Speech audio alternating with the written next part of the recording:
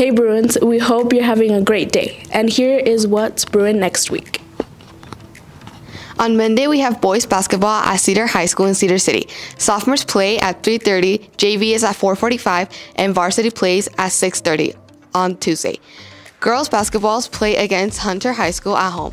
Sophomores play at 3:30, JV at 5:15, varsity at 7. We also have boys and girls wrestling at Riverton. JV matches are at 5. Varsity matches are at 7. On Friday, boys basketball plays at Cedar Valley in Eagle Mountain, and girls basketball plays Salem Hills at home.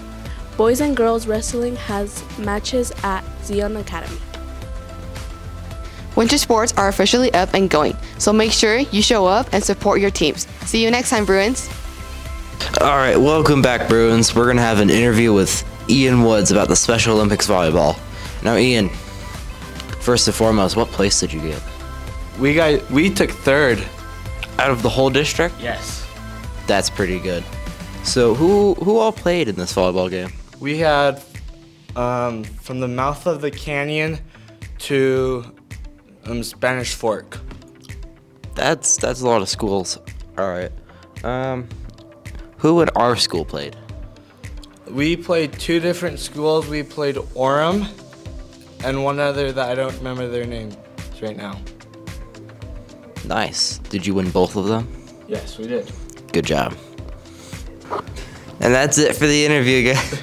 Welcome back, Bruins, interview number two. This is about the dance company, specifically about urban dance. So, how how was your performances? They were good, fun. Did you do good? I think I did, yeah. Nice. How was the dance concert? It was crazy but fun. Nice. How many times did you have to perform? We performed once, but we had a dance with four different styles all in one.